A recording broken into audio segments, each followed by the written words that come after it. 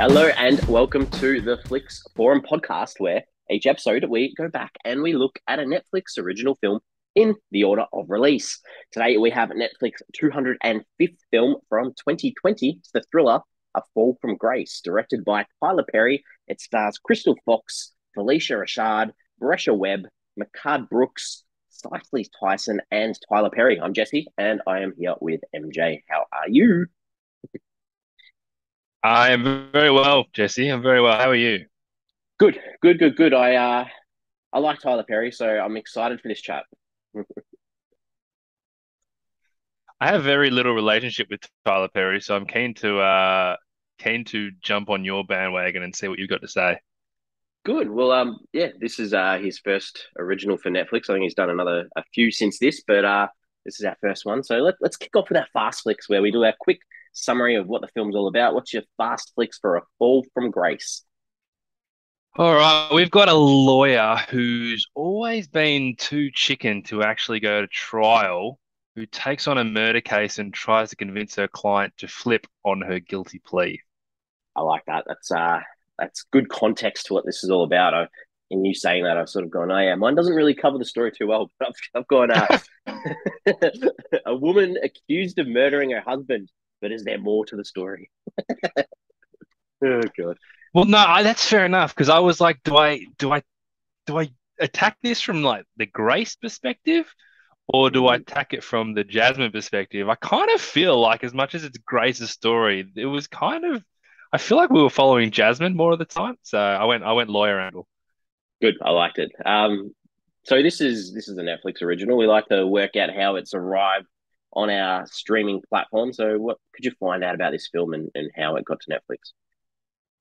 Well, the main thing I did find out was is the uh, the idea behind the Tyler Perry Studios, which uh, kind of fascinating. Like his his his company or his production company's got its own studio, and I'm actually I'm unsure because he he had he had a studio already and he redid it, got even an even bigger one. And I think that this might have been the first film that was that was filmed on his new big one, but then the dates kind of don't match up as whether it was the old one or not. So I think I think this was the first one in his new big one in Atlanta, uh, which I think is like the biggest the biggest production studio in in America or something like that, which is um which is awesome. So and it was filmed over, over five days, which that's incredible. Like really, like this is a two hour film with lots and lots of scenes. Actors would have been working their asses off. Um, do you have anything to add on the whole Tyler Perry studio stuff?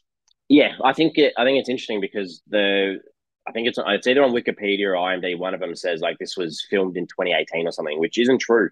Um, complete this this was filmed in December of 2019 and then released like a month later. That so filmed in five days, put together and then released like straight away. Uh, which is which is crazy, and the, the and that's part of part of the reason why I like Tyler Perry so much is because of what he's put into black filmmaking and this idea of this studio in Atlanta that you know it's it's such a, a cool thing for an individual to be able to have this place where he can create his own stories and you know not just film but he does a lot of TV um and you know like like you mentioned he's the first African American um to own his own studio outright. Like this is this is huge. This is and you know the the, the kind of films that he makes are not necessarily the best movies, but you know, in five days, it's fairly cheap. You get the, the crew Amazing. together. Yeah, um, yeah I, I, think that he, he's a, a really important figure in the industry, not just because of his ability to be successful, but for the ability to get more stories heard um, from Black voices. So, you know, I think, yeah, I, I, I admire the guy. What's where, where, where's he got? All I, I remember him speaking at the Oscars a couple of years ago, and, and I was quite fascinated by him and his ideas. I don't know anything about his history though. Where's he come from? How has he become who he is? Is it just through the entertainment industry, or is there more to it? Yeah, he started. I think uh, from memory, he started off with a few stage shows that were recorded, and then they were put out for physical release. Became popular, and then his big sort of character is Madea, which is more of a a comedy character, which is he plays a, a drag character, like a, a female mm-hmm. character, and I think there's more than ten Madea films, um, and I've seen bits and pieces of, of of those throughout the years. And, you know, this is a guy who, you know, based on creating, funding his own films and puts them out. And he was getting, you know, number one box office hits because he was targeting such a specific audience and and being celebrated by that. So I think you you know you look through the the 2000s and the 2010s and if he's had a film coming out you could almost lock that in as being the number one film because he'd target specific weeks where there weren't big blockbusters coming out and, and he'd have the number one film so you know um, it's not um, rocket science is it no like clever guy clever guy yeah good on him um Oh, that's cool. That's interesting. I, I appreciate that context. So the film itself, as you said, it was it was released on Netflix uh, on the seventeenth of January, twenty twenty. Which I think, if they filmed that, I think it was pre Christmas in December. We're, talking that's come on screen in a month over Christmas holidays too, and you're probably having a few functions, having a few drinks throughout that period. So that's it's incredible. Um, Netflix comes out and has reported that 20 it was watched by 26 million during its first week. And I'm I'm a, I'm skeptical at the best of times in this stuff, but I am massively skeptical on this one because obviously we know Netflix don't often uh, release this data, but by comparison, so, so I think at the time this came out, this was either the first, the most or second most watched film in the first week, 26 million that they've released the, the Oscar nominated The Irishman was watched by 17 million in its first week, according to Netflix. So smashed by a fall from grace. And Bird Box, we know Bird Box was just a phenomenon, uh, was watched by 26 million in its first week. So it's the same as this. Now, I've just done some other digging around at stats, and The Irishman on IMDb has 381,000 ratings, and it has 576,000 people who have watched it on Letterboxd. Bird Box has 335,000 ratings on IMDb, and on Letterboxd 677,000 watched. A Fall from Grace has 16,000 ratings on IMDb, and 16,000 people have watched it on Letterboxd. That 26 million does not add up. Like I feel like they're counting people that might have scrolled across it and it started playing for like a second. I, I, I that is just a rubbish number. I'm sorry, but it doesn't add up at all.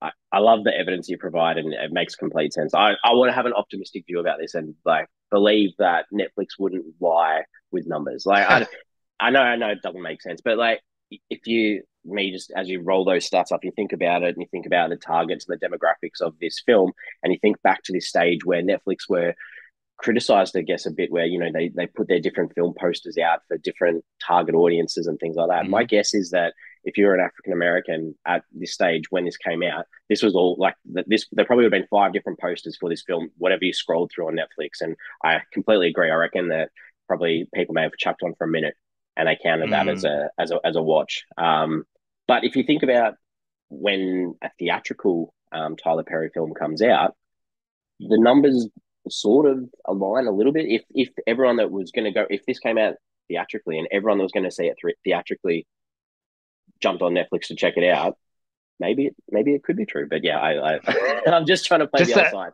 side. when I I just see that sixteen thousand people have watched online. I know not not Letterboxd is not everyone, but for context, that that is like one one fiftieth of what Bird Box was, and they're saying it got the same numbers in the first week. I just I just can't see how that happened. If 26 million people saw it in the first week alone, there'd be more people talking about it. That, that's all I'm saying and but this this isn't a Letterboxd. This isn't a Letterboxd type film, and uh, I mean, like I'll put it in the show notes. There there is so much um, online from the black community about this film online, um, and I'll put a link. There's a really good like uh, article that's got great commentary, all done through Black Voice, um, which I'll put the link in the show notes, which is worth checking out. So, I, yeah, it's it's an interesting thing, but yeah, I think you know, you're probably right. I'm not disagreeing with you, but there's, there's I, I get that there'd be a lot of people that wouldn't have done it, but the gulf is just too big. Like that gap yeah. is enormous. so I, I, get what you're saying. Irishman played in theaters, but prior as well. So people that probably really wanted to see that may have done that. The daunting runtime of that film, Bird Box sort of became a sleeper hit based on the memes and stuff. I don't know. I don't know. Who knows? Who knows? Just trying to. When you got six hundred and seventy-seven thousand versus sixteen thousand, like it doesn't add up to me yeah, fair, fair, fair. Uh, what else, else you got? Oh, what else got? Uh, this was nominated for two, two awards, won both these awards. So the BMI Film and TV Awards, it won the Streaming Film Award, and it won the Invisible Woman Award at the Women Film Critics Circle Awards for um, Cicely Tyson, the the older lady, um, at the end of the film. The I mean, and there's lots of commentary on social media about this film, and a lot of criticism around the film. Uh, you know, about the the camera work, the the mics, the boom mics dropping in on scenes, continuity errors. Um, you know, extras sitting there just staring at the camera, which is, and if you go back and look at some of these scenes, it's it's quite funny. Um, but obviously, five days, you, you don't have time to go do reshoots, and and and there's commentary saying that you know sometime after the film's released that the, they went back and edited this a little bit more. Um, and then they've fixed few, a few of the ah. scenes and a few of the, the glaring omissions. Um, and there's been no real announcement about this though. But at some stage, Netflix or Tyler Perry's gone back in and, and reformatted a few of the scenes and, and fixed a few things up. Uh, the other thing that there's this line in this film um, where ashtray bitch, and this was like a an internet meme, uh, which was quite funny at the time. Uh, Tyler Perry claimed that the line wasn't actually in the script and something that he added on the spot. So it's something that he's reminded his father saying, so he just added it in. So it's a cool little thing. um, did you say the tagline for this one? No, you know I try and avoid it. Good. So the tagline for this one is "Every woman has a breaking point." Um, yeah, interesting, interesting. Because yeah, the the females in this film both do, or the main two have have breaking points. Yep. Translations around the world. I finish finish off with this. Uh, Brazil. This was called "The Edge of Betrayal." In okay. Czech, it's called "The Ruin of Mrs. Grace." In French, huh. it's called The Fatal Break. In Greek, The hmm. Fate of Grace. In Hungary, it's called Disgraced. oh, boy. In Italy, it's called Grace's Truth. In Poland, Grace's Fall. Russia, it's just called Fall. Uh, Spanish, Spanish, it's just called treacherous. Uh, sorry, I struggle with this word at best of times. Treacherously, treacherously, treacherously, treacherously, and in Vietnam, it's called Broken Faith. So uh, a mixed bag of uh, titles for this film across the world. I think we got the best one. I think a fall from grace, obviously the the play on words, the grace yeah. factor. It's a bit ambiguous, doesn't give anything away. I think we we scored well there. I think so too. Um, let's look at what the critics and people are saying about this film. What have you got? Yeah, so I've got a 5.8 out of 10 on IMDb. As I said, 16,000 people uh, have rated it there. Letterboxd, a little bit lower, 2.6 out of 5, uh, 11,500 ratings on Letterboxd. Rotten Tomatoes, pretty negative, uh, sits on a 15% on 27 reviews from critics. So that is uh, very rotten. And the audience has it on 50%, which is on a bit more than 250 ratings. So not well received by critics, this film at all. Mm. And that leads us into your critical mind. What are your early thoughts on this one? Yeah, I've been a bit reserved so far, and I've been enjoying hearing the context that you've given about Tyler Perry and about the situation about making this film. My little summary of it would say this was kind of like Days of Our Lives trying to do an episode of CSI, but having a two-hour runtime to do it. Um, but in all honesty, this movie was shocking. Um, it was it was so poorly thought out. It was so poorly put together. Um, I'll get obviously further into the issues when we when we chat more about it. But it's one of those examples where Netflix, I think, rightfully gets scorned for their, choices because on one hand, we applaud them for giving filmmakers this full creative license to just go out there and make a movie, and on the other hand, this one had so many red flags in it that you feel like there'd be a point where a studio exec would put their hand up and be like, "All right, this isn't working. We need to fix it."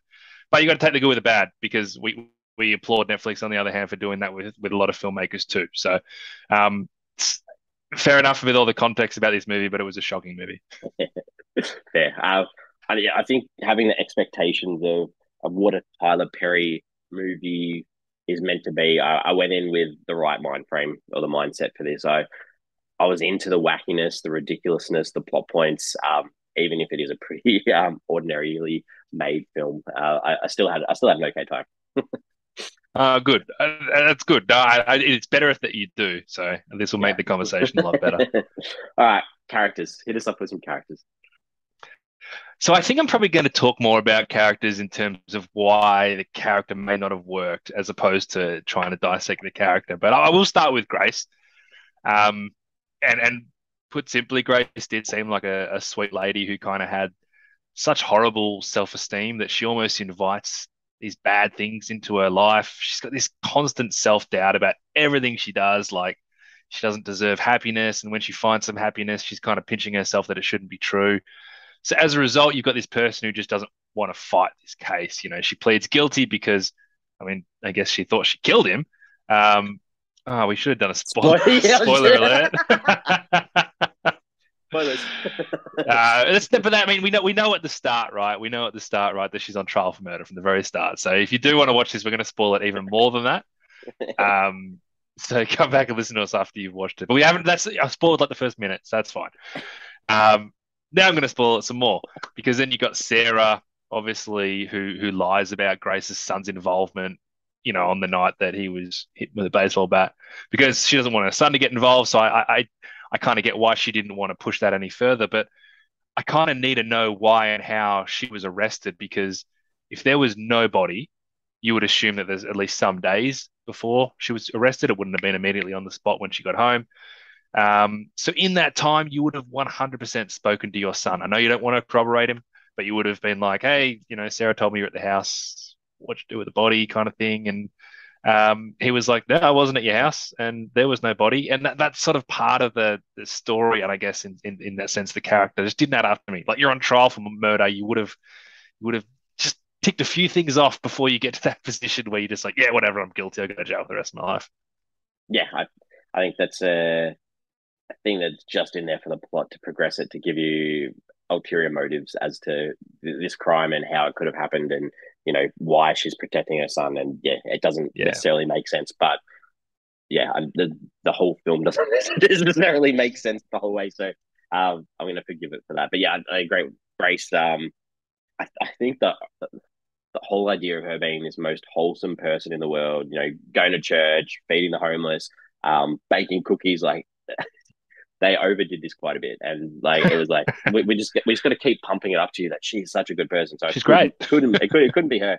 Couldn't be her. The the biggest twist would have been if it actually was her. Um, that's true. I, I, the whole idea, and I think this this part was done well with her as a character was that that idea of a, a divorcee who's been let down by men, having to do it by herself, rebuild her life.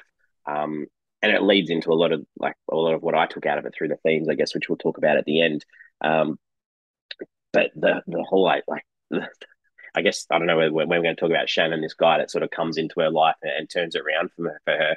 That middle section of her voiceover, uh, literally going through those those emotions of you know feeling loved and feeling no longer lonely in the world anymore. That like like you mentioned in your thing, like that daytime soap opera style sort of thing. I just thought that was so uh, it was so so different to what you're expecting in a what's titled as a thriller film, and you, are trying to work out this case, and then it just turns into this whole middle section of a you know a, a love story. But it was quite a, an interesting switch up. But I think that happened because, and this was in scenes I didn't like, was that I felt like she was trying to tell the story of how she felt because on screen, you, you didn't really get that. Like you didn't really see this connection between these two characters. So they're chucking a voiceover to be like, "Oh shit!" Like just in case. This, this was great time for me. I was really happy. like, that's what it felt like to me. Oh god. All right. Um. Who else have you got? So Jasmine, and and this is where it stands out for me that this movie actually doesn't have a hero, and that's okay. But it doesn't have a hero like at all because Jasmine, who I guess is the proxy hero, spends the majority of this story about as useless as a tits on bull because she kind of buggers up everything she does in one way or another. All of her decisions seem to be motivated by her own self, which is bizarre for someone who's a defense lawyer. Um, because she's happy to take the plea deal because she realizes she doesn't really want to be a lawyer anyway at some point in this movie. Uh, and then she pushes Grace to change her plea because she has a has a hunch that there's more to the case despite not actually finding any evidence to suggest that's true. But that's okay. We're just going to risk everything. This lady. Then she buggers up in court, has her client sentenced to murder, and then she ends up in jail herself because she's acting like a moron. And she completely stumbles on the discovery of, of what happens because uh, she just decided to go to Sarah's house, see how she was doing, and somehow comes out of all this as the hero. Like she didn't, she was even in the room. The old lady was telling her everything that's going on. She's like, "Hey, it's all right. We'll we'll call you. We'll look after you." Like, like this, the signs are all there. Like, I don't know. This was I just didn't like this character at all, and I don't know why. At the end, they're like they had that news story about oh, and you know Jasmine, who's you know, the leader of this case, doing this. I'm like, no, she sucked. Uh, yeah, I, I feel like it's the same a bit with what, like I mentioned with Grace, how they've overdone the niceness of the character. They overdid the inexperience and freshness and complete um, inability to control any situation with her, like in every single scene. And like, you know, when she goes to meet Grace first and she drops the folder on the floor, that's just like the perfect example of, you know, we're just going to keep pushing it in your face about how she's she's useless at what she does. and you know, uh, I think and they pump it. You know, I'm only you know the only cases you do are like misdemeanors and plea cases. That's why you give they're giving you this one. Yes, this is the biggest case in the world in the world of film at the moment, but we're giving it to yeah. you because it's a plea case. That that's all it is, sort of thing. Um, and I, I, it was interesting. I I never quite got the her partner Jordan. Like, were they married? Were they just together? Um, the co-workers they were so like supportive of her and then her bosses mm. of rory he's not supportive of her. It was like she didn't really have anyone in her world that was 100% there by her side the whole time. Um it was just yeah it was a, an interesting character. But again like this isn't the type of film that you're like cool i'm there to connect with a, a character. It's a good point though. Yeah there was a bit wishy-washy with her relationships with other characters. She was all over the place though. Yeah. Um Let's go into Sarah. I, for me, it was just so obvious from the minute that we met her that she was up to something and there was more there. And it kind of bothers me that everyone else seems so oblivious to this when they make sure the audience knows. Like, I, I, it was obviously deliberate that they wanted us to think there was something up with Sarah, but none of the characters had any idea. And I just think that was really amateur filmmaking. So, obviously, Jasmine, as I said, decides to randomly go check on her to see how she is. Oh, by the way, you know, drop me off here down the street so there's no car, so no one knows that I'm here, just in case you could say my car's out the front. We know we're getting that big reveal. That that was the thing. We, like they're they're setting us up so much for this big reveal that it, even though you might not know specifically what's happening, obviously I wasn't expecting like 40 women chained up in the basement, but but you knew the reveal was coming, like so that they like spoon feed that to you so much. And I uh, the reveal I think is the key for this whole movie. I think they thought of a reveal, then wrote a movie around it. Um, but then they, they just like didn't reveal it properly. It, it felt felt very forced, and Sarah just felt so obvious in that in that role.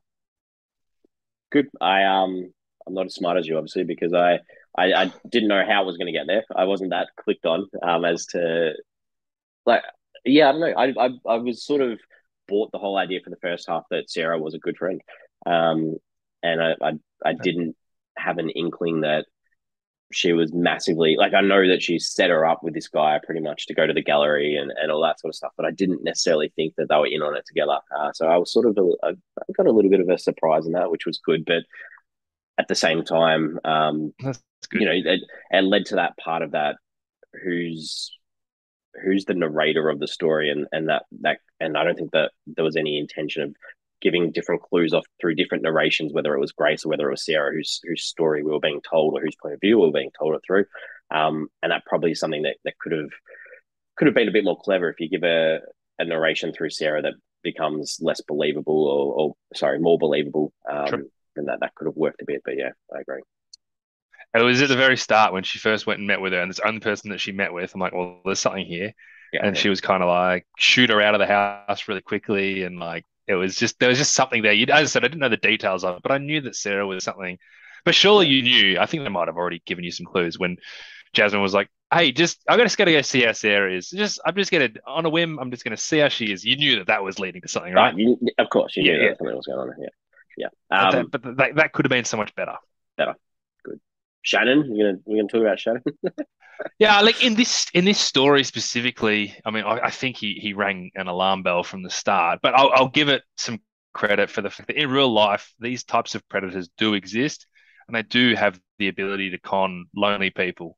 So as much as it might seem ridiculous the way he was acting and the way that he sucked her in, I think the point of the story is you know watch out for these kind of people because let's not pretend that um, they don't exist but also as an audience member, you kind of do realize something was completely off with this guy from the very start and didn't quite add up. But um, yeah, he was uh, he was a bit much. sure, like just the complete, you know, so over the top, and then the complete con artist scumbag. Um, you know, the the two traits that he said, or the two things he doesn't like was like being checked up on and having been questioned. Like, what sort of a person are you when you when you like they're your two things that you don't like in life? Um, yeah. one one thing I wrote one thing I wrote down about this guy was like this guy's buff and he'd ready to back it down in the post. Like he would be a good power forward. Just that guy was whew. big man. oh man, huge. Uh, any other characters?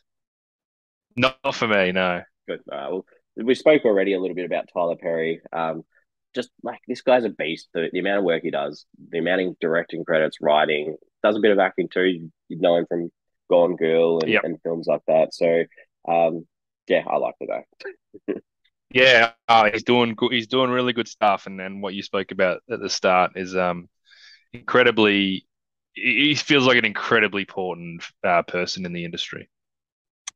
All right, this is going to be the fun part where we talk about scenes. I'm very excited to to to do this part. So, is there anything in this that you enjoyed to start off with? So th this was like the one time I finished watching the movie and there wasn't a scene, but I, I- gave it some thought, and I I kind of liked the speech that Tyler Perry gave in the courtroom about leaving a witness. You, you know, you just left a witness who said your client was a murderer. I kind of liked it just because it made sense, and finally someone was speaking sense. What I thought was weird that her husband was still in the room, just leaning on the wall during that scene. I was like, has anyone No, told him he's still he in there? I didn't stand up for her. Didn't stand up for her. I know that, and then it came with the next scene. But when I'm watching that scene, I was like, "Why is he there?" And I'm like, "He'll say something." And then the scene ended, he didn't say anything. I'm like, "Did they just forget to like take him out of the room?" And then obviously it came in the next day. But you know, I appreciated someone being like, "Hey, you can't just you can't just leave leave court like that." She just said he's a murderer. Yeah, so that was good. Um, all right, so I've got a few things that like that are probably just like funny moments for me that probably weren't meant to be funny, but I'm, I'm still going to put them in as things I like. So I while while it did we mentioned this I mentioned this before, but while it went on for way too long, I think I could see how Grace was swept up by Shannon. Um, like that line about um why me and why not you. I, that whole thing or that idea of that, I felt I did feel her aliveness. I felt how especially when I've got the shots of her of where she is sitting in the prison cell and, and how disheveled she looks, to see this aliveness in her, I, I did like that comparison because I, I could feel why she was into this. So I thought that was done okay. If if you were falling in love with someone, Jesse, and and you know you had that self doubt and were like, "Why me?" and that would kind of like just like, "Why not?" Definitely. I'd want some more justification. I know, why not also- you? I- Yeah, you're, you're as good as why anyone. not? What tell me why. Why not? Tell um, me why. What are the things you like about me? Tell me. Fair lying in I, I, I I get it, I get it. the lying in bed there. I had to put this in there. I want an ashtray. Just oh my god, it was hilarious. It was hilarious. I want an ashtray. That was good. Um, the the whole you mentioned this before the the shot of all the old ladies tied up in that room. Just shot, shot I was like, whoa, hang on, what's going on here? Wasn't like- expecting that. that got me. Um, and then that fight scene between Sarah and Jordan in the kitchen was just hilarious. Like I just I, I killed myself laughing. Just the saucepan, and then she throws the paper bag of groceries at him. Ah, yep. I like that. I thought it was funny. And I know it wasn't meant to be funny, but I thought it was good. All right, here we go. Time to unload. What didn't you like? Well, hopefully I can paint a picture here as opposed to just teeing off, but paint a picture of why this movie didn't work. So initially, I've got Grace and Shannon at the cafeteria, wherever they had that that date. I just there was just no chemistry, and I felt like they weren't even getting on with each other. And I just I didn't know why they liked each other. And and during that conversation, she just kept referencing her divorce, which I don't think was like a deliberate thing. I just think it's like they were running out of things to say. And I don't know, the whole the whole scene didn't work. I mentioned before that I didn't like the use of narration to tell the story as just like a as just like a catch-all in case you didn't know what was going on. Yeah. Um, it really bothered me when Grace got fired and was never allowed any sort of explanation about what happened or like, hey, you Go. just stole this money. It's like, have a hang on, no, no, no, you're out. I don't want to hear why. I don't like that was ridiculous. Come on, like give us some credit. Okay, so this is where I thought the movie was gonna get good. So you found out that the body was missing. And if I'm not mistaken, we didn't know that initially, right? So they- said, like, oh, by the way, the body's missing. I was like, oh, that's interesting. It was 70 minutes into the film, which is is a bit long, but so then I started asking myself, the attorney who's asking Grace about this didn't know that the body was missing. That's that's insane to me. Like, hey, you're on this murder trial. By the way, there's no body. So this this whole movie is about finding a case that is beyond reasonable doubt that she didn't kill somebody. So it's not even saying you need to prove it completely. You just need non reasonable doubt, and there is no body. What the hell? That is incredible amount of doubt that she didn't kill this guy where there's no body, and that is the whole point of this film. And they never found. yep, the headphones have just come off because MJ's so agitated with his film. That, that was the whole point of the movie. I just, just the more I thought about that, the more I was so furious. I'm like, this doesn't work. Who thought about this? Who pulled up the person who thought about this? I had big issues with that. I mean, like, I could just keep talking about it, but hmm. the attorney didn't know there was nobody. You are working. Just come on. So that bothered me. That and I've only got one more scene to mention that kind of closes this whole thing out. I mentioned we never get that hero moment because she stumbled on all by accident. But they're in the courtroom at the end, and obviously Grace gets off at the end because they find out that Sarah was doing it all. And Tyler Perry, who's been rightfully critical of Jasmine, or sorry, Rory, rightfully critical of Jasmine throughout this whole film, just gives her the big thumbs up, like, well done, Jasmine. It's like, no, she didn't do anything. She didn't do anything. Oh, it was so annoying. I had I had that as well. Oh. That was just like a horrendous way to, to, to, Oh. like bring cheesy smile with stuff. Sorry, Uh, Jasmine, you're still fired because you're awful at your job. All right. Uh, Is there, Ah. is there anything you didn't like? yes, there are. There definitely are. Um, the whole like so Jordan, uh, Jasmine's partner, like he's like finally ready to debrief about seeing the old woman fall to her death, uh, like from the opening scene, and um, and Jasmine goes into that thing about I don't want to be a lawyer anymore. The score, the sound, the this the music changed about three different thematic levels in that one conversation. Like it was like up, uplifting and down and low. It was just so funny. I was just like, that, that, brings in that that soap opera style that you were talking about. Um, Rory, um, so Jasmine's boss Rory says uh, that you like you, uh, you didn't like this, but you mentioned this before. That whole that speech that he does, you know, saying you let a witness say your client is a murderer, and then he finished off with, "This must be a millennial thing that I'll never understand." I thought that was the worst line of dialogue I've heard in a film like for about ten years. But, but it must it's just a millennial thing. I just don't understand it. How? Why? I don't. That, that's it's, horrendous. it's even worse. It's just even like a bigger whack. Just like, you are such an idiot. I just can't understand where that's come from. You are so stupid. Um, But she got the thumbs up at the end. thumbs up. And then after like this, you know, horrible day in the courtroom, um, Jasmine and Jordan go home and they have dinner, and just like full loses at him, like cracks at him. You didn't stand up for me. You're on, not on my side. It was just, it was, it was. And then he was like, "Yeah, but I thought Rory made some good points." it was so bad. Um, and then the uh, the whole court scene, like just the whole, like you you mentioned this in in what you said, but the the whole idea of the legal process. People have got a good enough idea to know how that works, but the whole thing of her just constantly being like, "Nah, I'm calling Sarah back to the stand." it's like the case is done. this is the, this is the end. And like obviously, as an audience, you're like, "Oh, you know, she's trying to get a mistrial." She's try- you're not going to get a mistrial from for, for this. This was your fault for not It's like- calling her back. done. And then when she's in bars and then Rory visits her and she like tells him to F off, I was like, oh, yeah, well done. Good job. Told you. You're the one behind bars.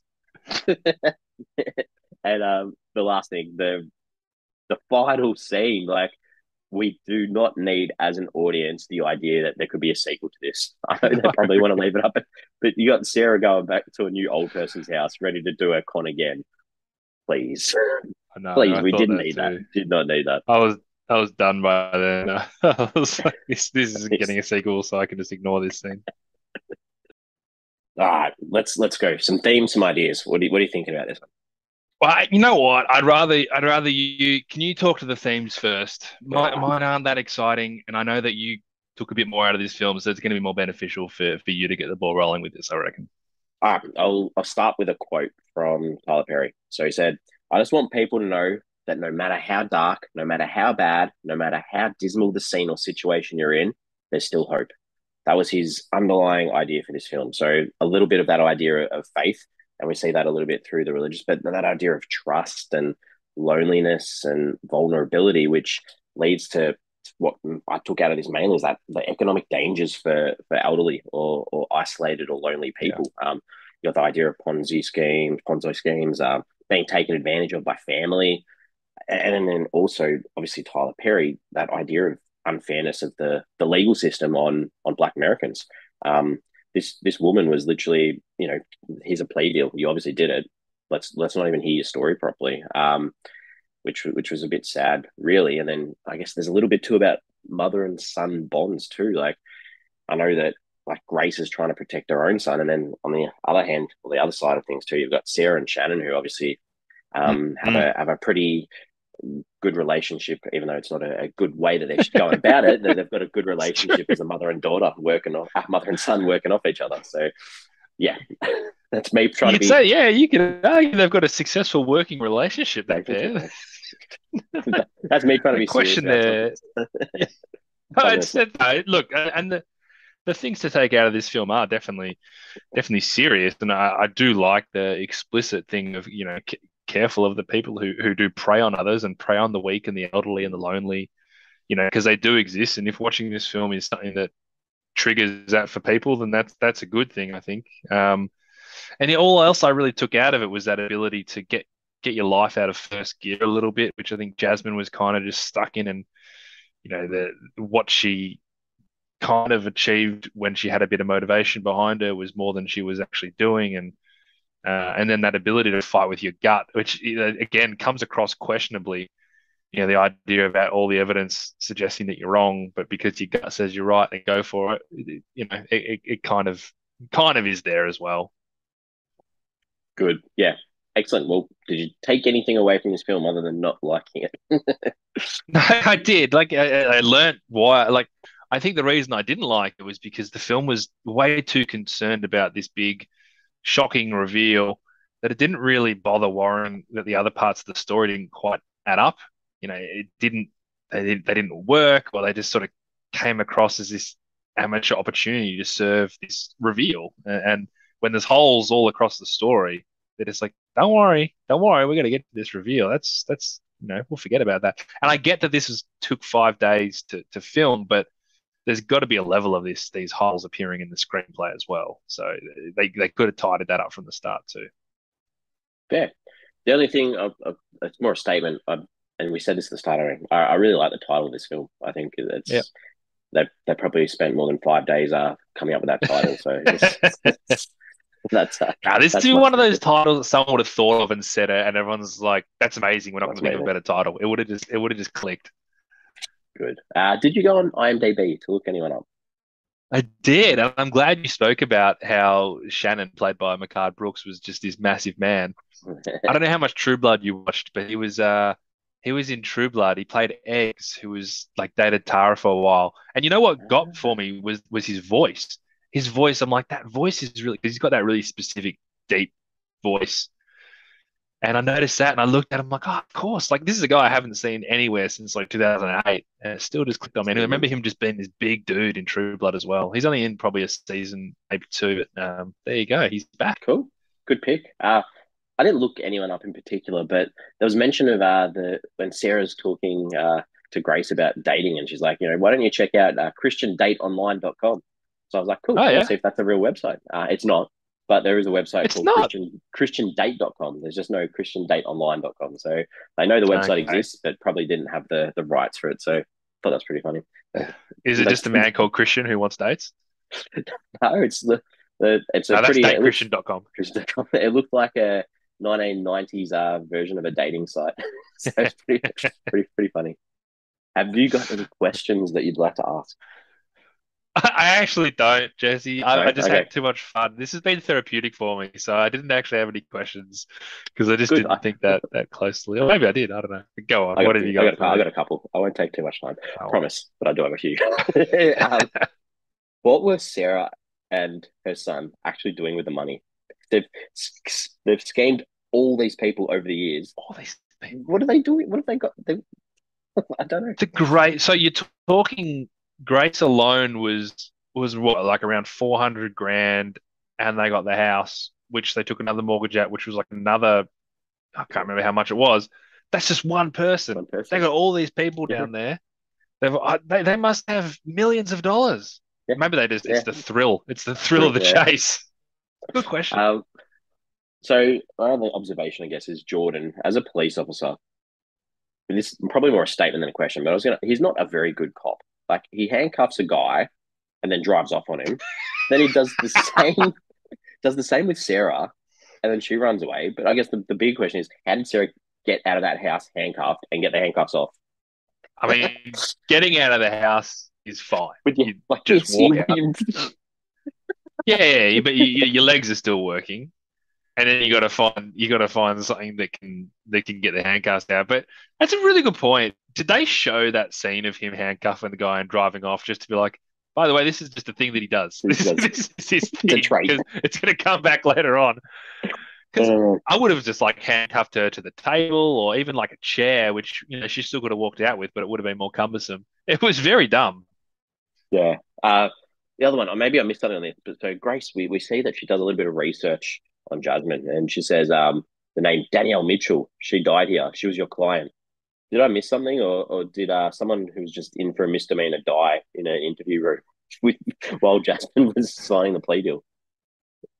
That's a very, good point. Obviously, that was just I, I'm assuming she figured that out via just talk of the, the prison. prison. Someone's Yeah. like, "Oh, you got you got Jasmine because that bloody."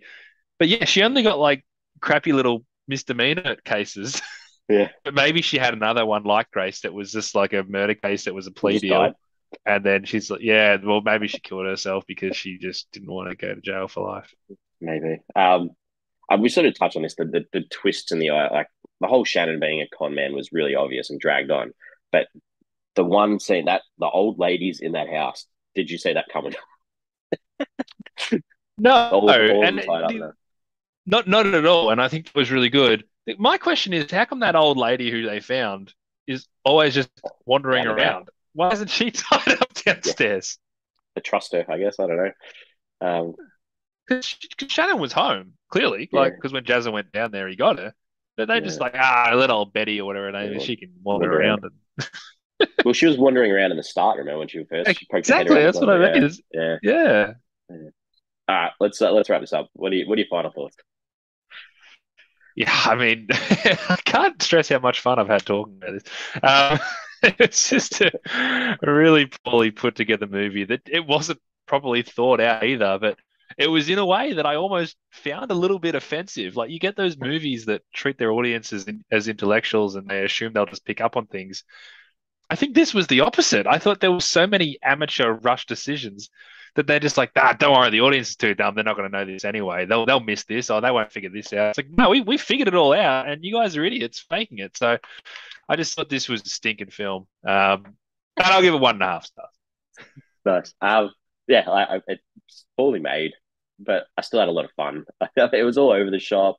The crazy ending sort of had me laughing, and like the Tyler Perry film, you, you sort of know that they have plot holes. They have just random stuff throughout. So uh, I still, I'm getting, I'm giving it two and a half.